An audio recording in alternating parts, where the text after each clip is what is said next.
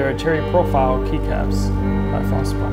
So you can see FP2 and you get custom pins with your GPU. You get three of them. This thing is sick. I'm excited to show you guys what I have in store for this build.